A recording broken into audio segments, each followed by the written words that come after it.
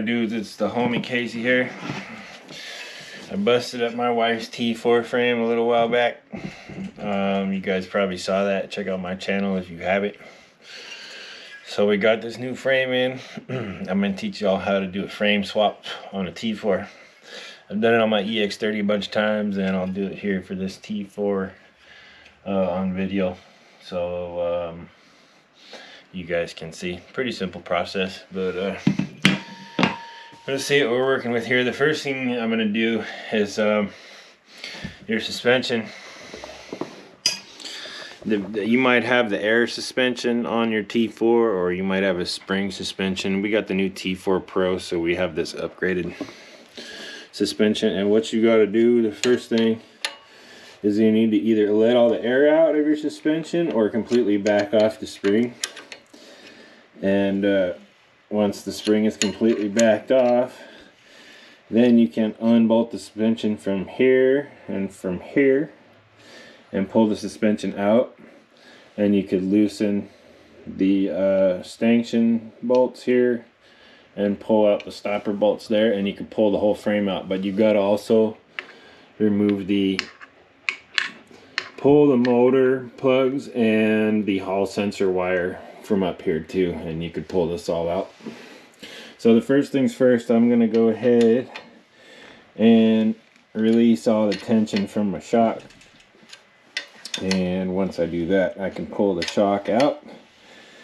So the reason why we're going to replace the frame is because we have a nice frame crack here because my T4 got away from me or it's my wife's T4 and it got away from me and smashed the frame and I'm probably gonna have to pull this off and bend it back and a few other things. So we're gonna start with replacing the frame and I gotta back off the suspension all the way out and then unbolt it. So I'll be back when that's done right there. All right guys. Okay folks you can see my suspension is gone. So um, the reason it hasn't contracted is because I have it set up on blocks here and that's how I hold it when I work on it. So the next thing I'm going to do is I'm just going to go ahead and disconnect and pull out my my charge port. I don't want to pull on the wires. I want to pull on disconnect it by pulling the connector.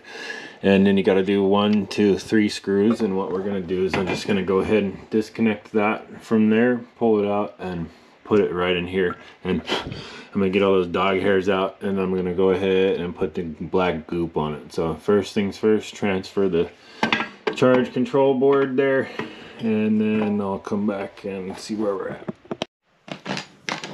Okay people, we got the charge board removed and we're going ahead and gonna go ahead and install it in the new frame. First thing is first, you're gonna want to pick the old black goop off of there, off of the screws. Um, sometimes I gotta use like a scissor to do this or like a little a side cutter or whatever takes it off probably the best um, whatever you can use to clean that stuff off.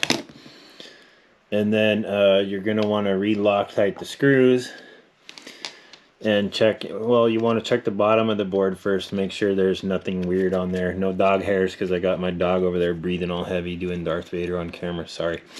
But you want to check the charge board that it's clean, no damage, and there's nothing on the screws, and that all the screws have black goop on them and everything is good. Get the dog hairs off. And you want to put it in the frame. Like so. And then what you can do is Loctite all these screws back in place. I guess I can go ahead and do that. You're gonna have to re-black goop them. So.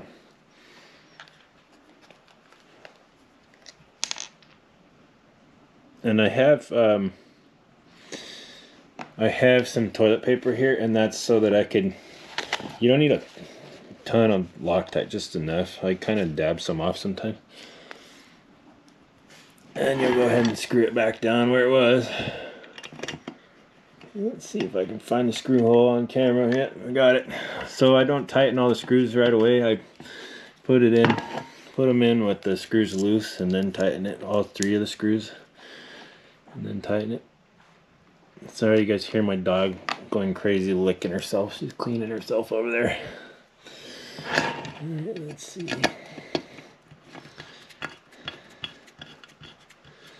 Just loose till all three are in.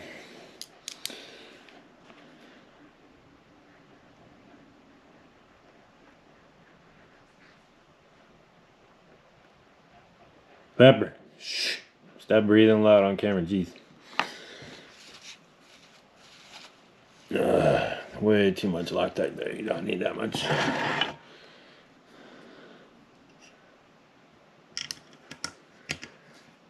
Alright, once all the screws are loose, what I'm going to do is kind of like push the board back evenly so that it's away from the control board and then tighten it down.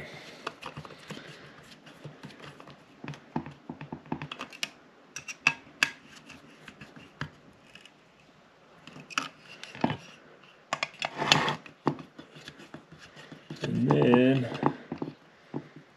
just kind of, you know, a little bit tight because it's going to have Loctite and it's going to have black goop on it. This is not going anywhere.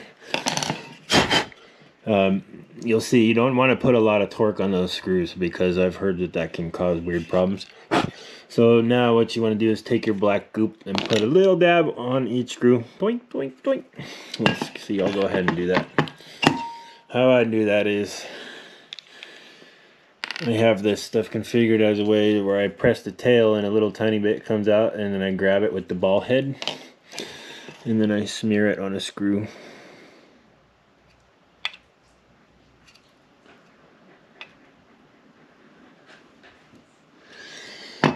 One.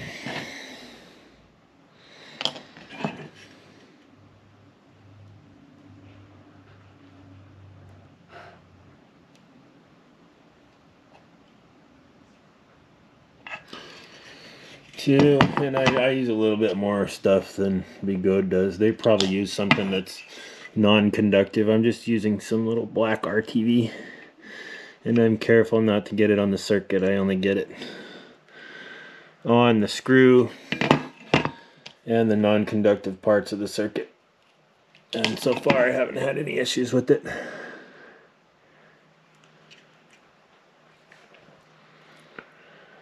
And what you might want to do, see what here's why I have the toilet paper, so I could clean my Q-tip. And what you might want to do, let me see, I can grab the, the multimeter here,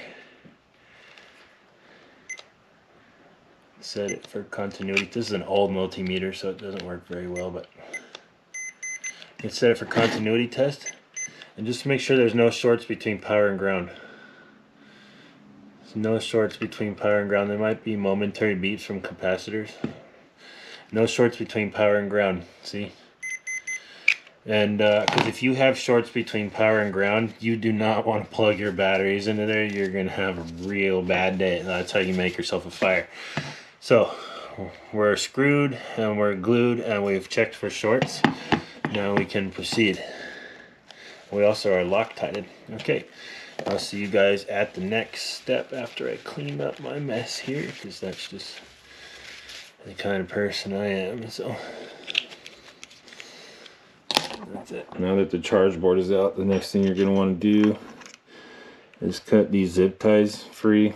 You're going to have to take your beeper out and your light out and to do that you're going to have to carefully take the black goob off of the beeper and the headlight line and disconnect them. So I'm going to cut this, I'm going to cut this, I'm going to pull the headlight screws out and I'm going to pull the beeper and the headlight wires off of the main board to help free the main board up. I'll be right back.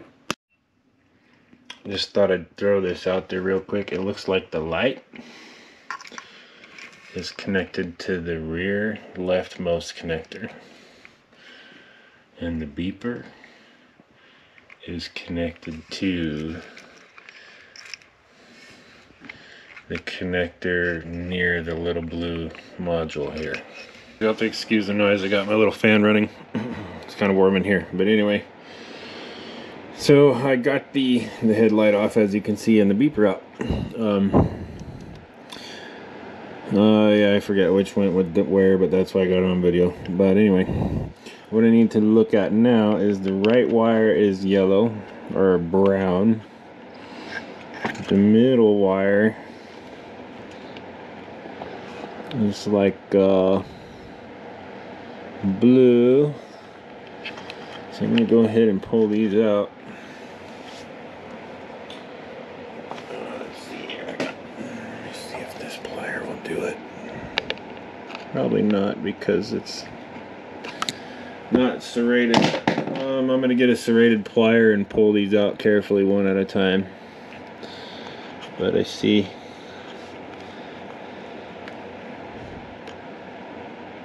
yellow, blue, and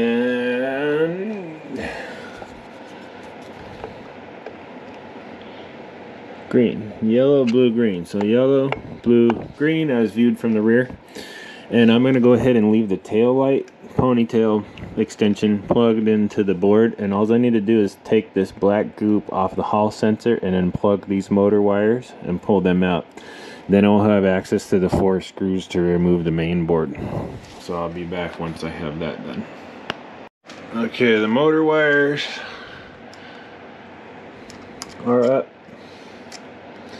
There's the yellow, blue, and green, and the hall sensor here. So now you'll need to disconnect those. There's a there's a little cable holder here and that will fall away from the frame. So now you can go ahead and unscrew the main board from the upper frame by cranking these out. I guess I can do that on camera for you, but there's really nothing much exciting about it. There's going to be some thermal pad on the bottom. So.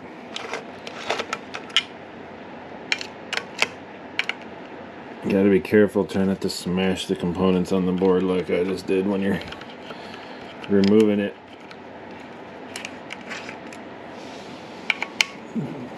You should not be doing this on camera like me. Especially for the first time. Alright. So I'm gonna go ahead and yank those screws. Yoink. Yoink.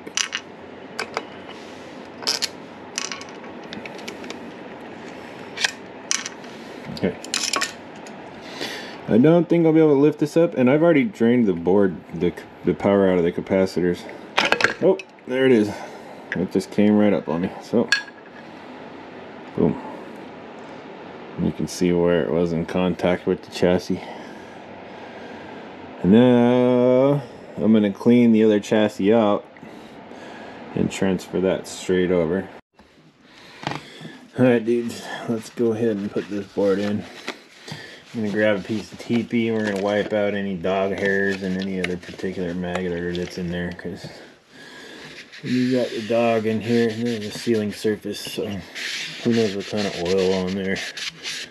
Where we can clean it up if possible.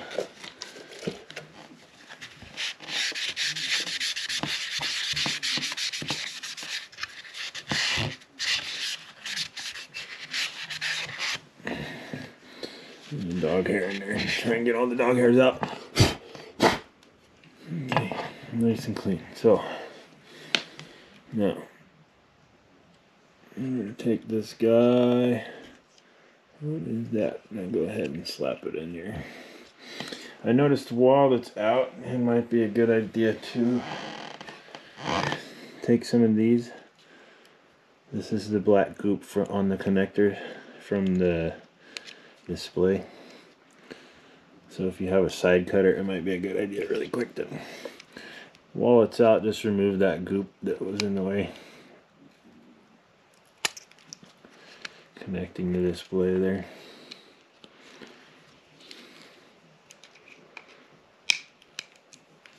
So that you can put new black goop on. There. All the black goop's out. Now, like I said earlier, uh, like I said earlier,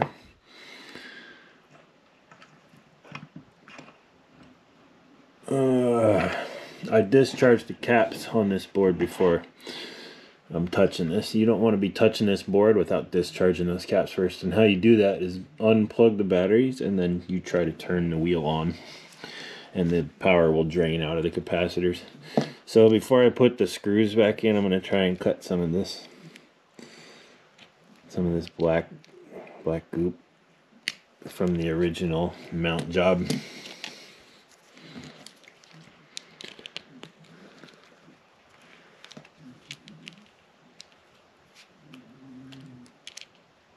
Just get as much as you can. It doesn't have to be all of it.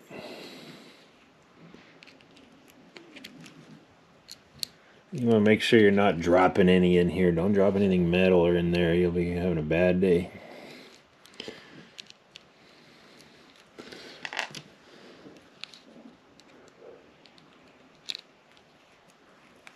Let's see here.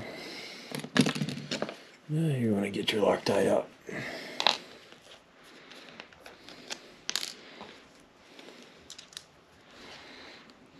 Just get a little bit.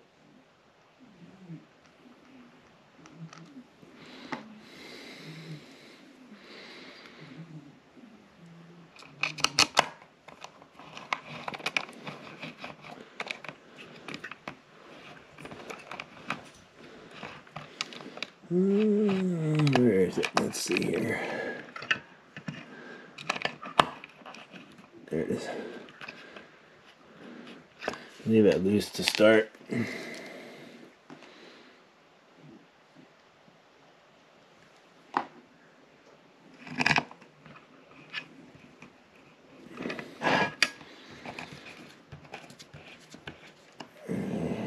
looks like it's threading, so leave it loose.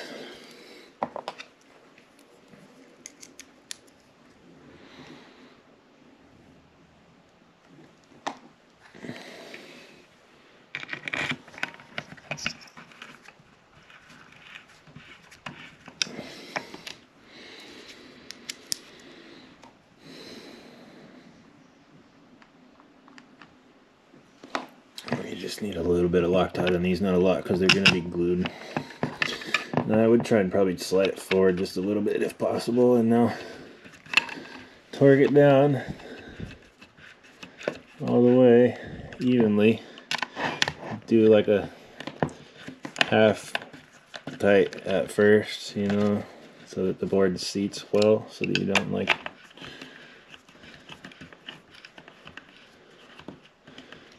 bend it anything.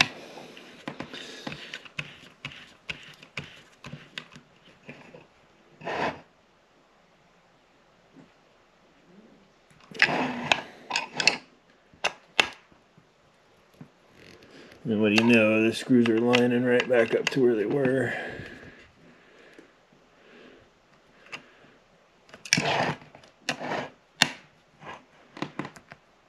Some of them, I guess. So that's torqued, that's torqued, now it's torqued, and that's torqued. Now, now the fun part. We gotta clean our Loctite. Put it away. Always gets all over the place. And we take out the good old black goop. And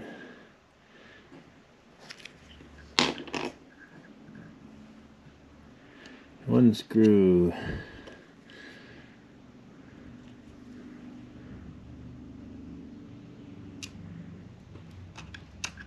Two screw.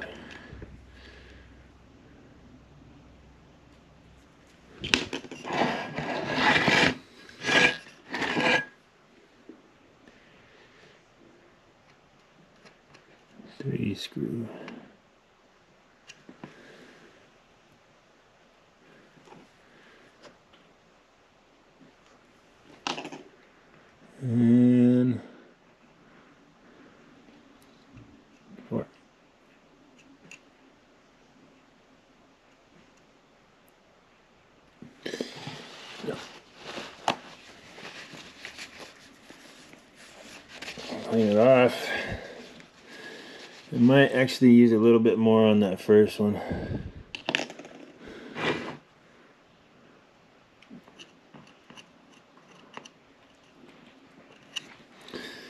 Don't want to get it on the circuit. Oh, I saw dog hair going. Make sure you don't get dog hairs in there. Make sure you don't get anything on the circuit. I'm going to have to pull that dog hair out with a tweezer. I see it went between the capacitors. You don't want dog hairs. No dog hair. Okay, so now I'd probably let the screws dry a little bit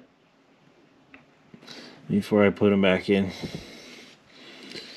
so that I don't get uh, glue all over all the wires and everything. So there we go. And now we need to continue to unbolt the old chassis from the frame. And I'll show you guys how to do that in just a moment. Okay guys, we're now free to undo this, undo this, undo this, this, this, and this. And we could pull the chassis off the stanchions and we could check out the stanchions and make sure they're all straight and everything and we could put the new chassis on. We're gonna have to pull off the old seat brace as well. And I think I'm gonna have to bend that back because it's a little bit tweaked from the old, uh, from the crash there. So I'm gonna pull those apart and put the new one on and we'll get uh, some more video. Okay folks, you can see I got the old frame off old frames on the right, new frames on the left. And you can see I got a nice bend there. It's actually pretty still strong, but what happens is it's causing the battery box to rub on the wheel, so or be too close to the wheel. So tweaked, old frame gone, new frame here. Uh, I got the old seat seat frame. We're going to thread that in really quick with some Loctite.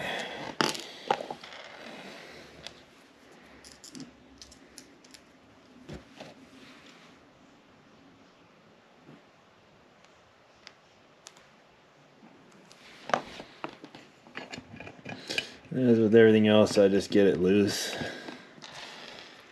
and then put all the screws in at the end. So. And you don't need a ton of Loctite for this, just a little bit. Just enough. Oddly, screws don't want to start on video. When you, if you're trying to build something on video, screws don't want to start. It's like a, it's like a thing, man. Good luck with your screws on the video. Alright, let's see.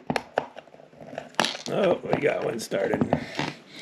See that seat that seat frame is just a little bit tweaked, but I think it'll be cool. My my EX30 one's a little tweaked too, and that seems, seems to work anyway. As long as it's not broken, it's good.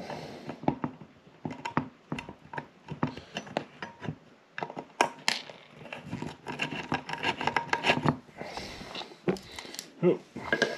Bump, bump. Bump the camera.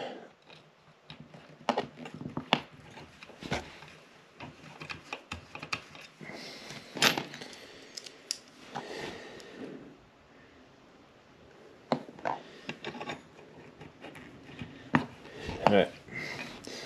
So now those are all uh, in loosely, I'm going to position it about halfway back and then crank it down.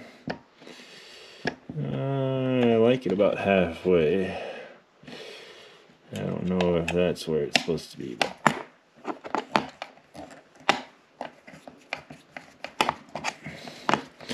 So anyways, after I do this, I can put this, I got the, the hardware to put the chassis back on. So I'm to go ahead tighten these up and then I'll Loctite these and set the chassis in place and then get ready to tighten it up. So I'll be back in a bit guys. Okay, here we go. I've done some uh, cleaning up of the frame, I re-loctited these, clean this stuff up a little bit, make sure it's all good. No, I got my top frame in. So the first thing I'm gonna do is, is lock it to the right position and then I could get these torqued. So I'm gonna go ahead and do that now and I'm gonna check that it's all straight and everything. So once I have it tightened down, I'll be back. Alright guys, I got the frame up here and how you get these tight is you want to check that your battery, your lower battery hanger is equidistant to the wheel before you tighten it. And mine's just a little tiny bit that way.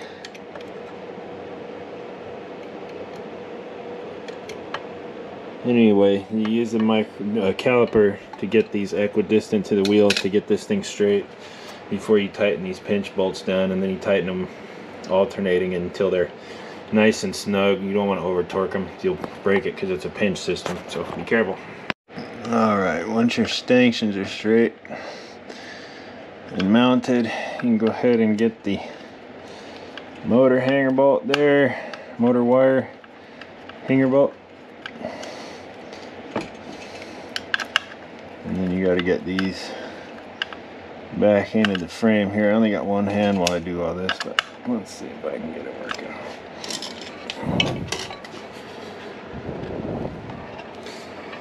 Just about. Oops.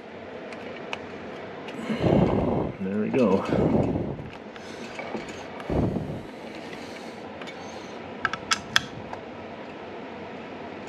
Just snug, snug everything up. Doesn't have to be cranked down. Make sure it fits in there good.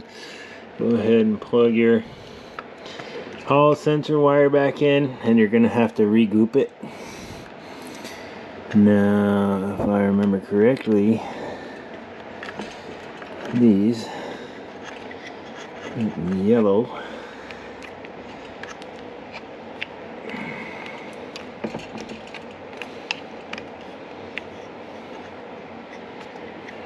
and green.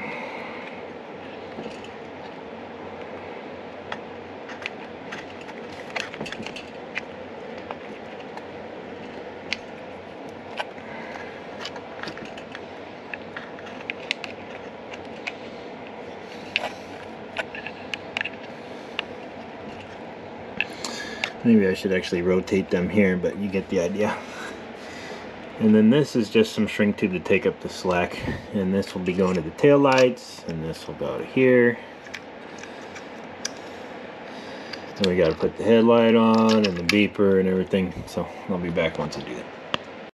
Alright guys, so I got the headlight in place. I got the headlight wire plugged in. I got the beeper wire plugged in. I got the motors plugged in. I got all the wires plugged in.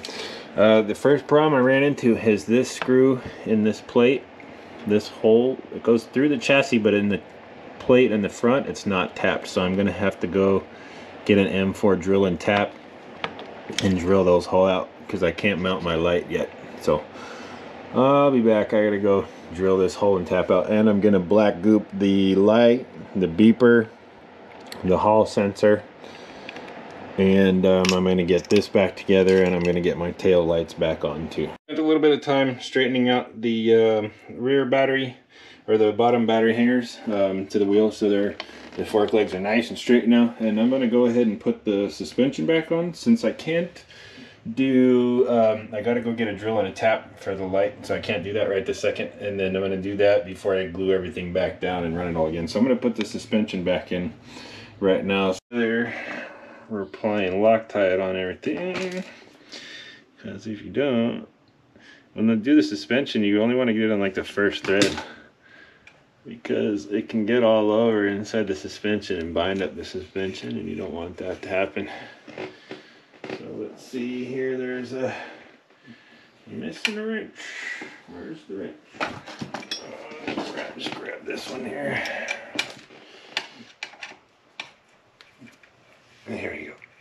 I gotta try and get that in there before the Loctite drips out. I don't want to bind up the suspension.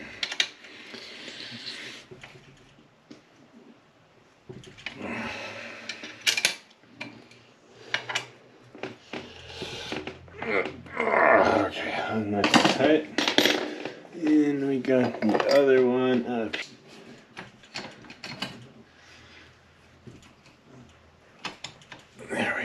now it's in so we can go ahead and put the screw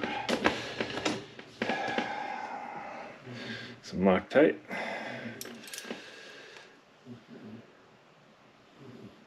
dog hair dog hair is always good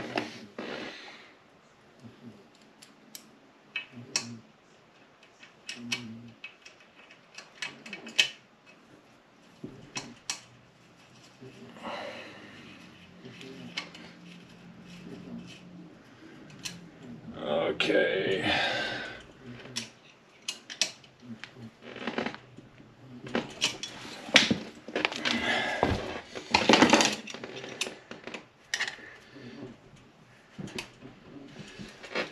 And we go ahead and crank this sucker down. Make sure it's fully tight.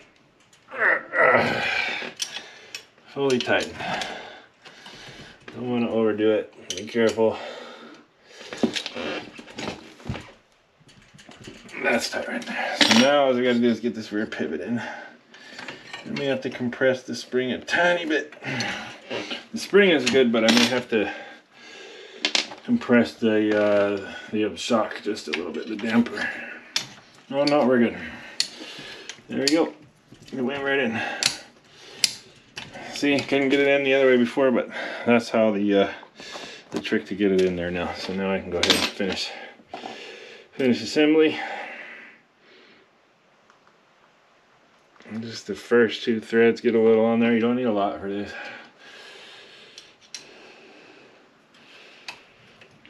Like they used to say in school, a little bit of glue goes a long way. I know, I'm lame. Here. We're done with the suspension reinstall.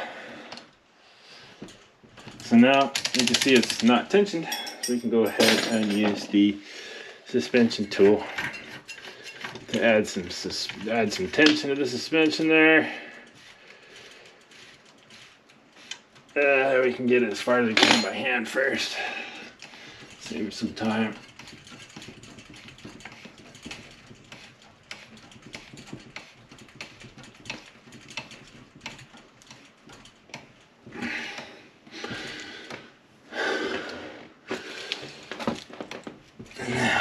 Now, crank it down. And your suspension's good to go. That's what I like about the new Begode suspension is it's really easy to adjust, no problem. So there we go. We basically have our frame swapped. All I got to do is drill and tap the light holes, and then I got to zip tie this stuff, and then I got to do the black glue here and here, and then I got to put the tail lights back on, and we should have a working wheel. I'm to put the batteries back on and everything, but basically that's our frame swap right there. Um, Begode forgot to drill and tap those two holes. That's cool, I can do that. But uh, other than that, our frame swap's done, and uh, you should cut the video of me riding this thing around again. So I'll see y'all later. Peace. Okay, guys, I got it back together, and she's rolling. Um, I still have to tap this little hole here and tap this hole here. But uh, yeah, that's how you switch a T4 frame right there. Put the seat on it and put those screws back in and then it's ready to go. And then I'm going to do some upgrades over here. So I'll see you guys later. Peace